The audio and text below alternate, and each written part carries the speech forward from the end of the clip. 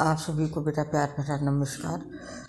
दोस्तों, पुराणों में देवों के देव, महादेव की पूजा, आराधना करने के लिए कुछ विशेष तिथियों को बेहद खास माना गया है।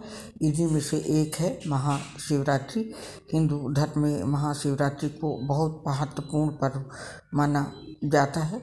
पंचांग के अनुसार महाशिवरात्रि का ये पावन पर्व फाल्गुन माह में कृष्ण पक्ष की चतुर्दशी तिथि को मनाया जाता है। भगवान शिव के इस व्रत से अखंड सौभाग्य की प्राप्ति होती है।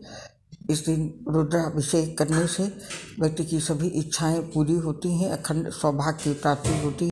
लेकिन रुद्राभिषेक करते समय इन बातों का विशेष ध्यान रखना चाहिए कि रुद्राभिषेक करते समय हमसे क्या गलतियाँ न होने पाए। शास्त्रों के अनुसार कहा जाता है कि शिवलिंग का रुद्राभिषेक या जलाभिषेक करते समय आपको पूर्व दिशा की ओर नहीं खड़ा होना चाहिए। साथ ही पश्चिम दिशा की ओर भी खड़े होकर शिव जी को जल अर्पित ना करें, क्योंकि दिशा में भगवान की पीठ होती है, इसलिए इस दिशा में खड़े होकर जलाभिषेक करने से शुभ फलों की प्राप्ति नहीं होती है। दिशा का बहुत ध्यान रखना चाहिए। शिवलिंग पर जल चढ़ाते समय आपको दक्षिण दिशा की ओर ही खड़े होना चाहिए। क्योंकि ऐसा करने से आपका मुख उत्तर दिशा की ओर होगा और उत्तर दिशा देवी देवताओं की दिशा मानी जाती है। तो दिशा का ख्याल रखें। दिशा के साथ साथ शिवलिंग पर जल अर्पित करने के बाद परिक्रमा नहीं करनी चाहिए, क्योंकि शिवलिंग पर जो जल अर्पित किया जाता है, वह पवित्र हो जाता है। ऐसे में उस जल को लांगना अशुभ होता है।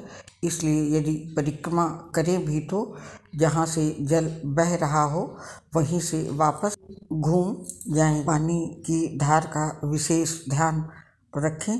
शिवलिंग पर कभी भी तेज़ी से जलाभिषेक ना करें। धीरे धीरे जल चढ़ाते हुए शिव मंत्रों का जाप करना चाहिए। शास्त्रों के अनुसार शिवलिंग पर जल चढ़ाते समय कभी भी तुलसी की पत्तियों का इस्तेमाल नहीं करना चाहिए, क्योंकि भगवान शिव को तुलसी चढ़ाना वर्जित है। शिवलिंग पर जल चढ़ाते समय पात्र का विशेष ध्यान रखना चाहिए। शिवलिंग पर जल चढ़ाने के लिए पीतल, चांदी और कांसे के लोटे का इस्तेमाल शुभ होता है, लेकिन ध्यान रहे कि शिवलिंग पर जल चढ़ाने के लिए कभी भी तांबे स्टील आदि के लोटे का इस्तेमाल नहीं करना चाहिए। शिव जी का रुद्राभिषेक करते समय यदि आप इन सब बातों का विशेष ध्यान रखेंगे, ये गलतियाँ नहीं होंगी तो निश्चिंत ही आपको शुभ फलों की प्राप्ति होगी। भोलेनाथ आपकी सारी मनोकामना भी करेंगे। तो दोस्तों, इस पोस्ट से अब आपसे विदा चाहते हैं। फिर मुलाकात होगी। तब तक के लिए आप सभी को मेरा प्यार भरा नमस्कार।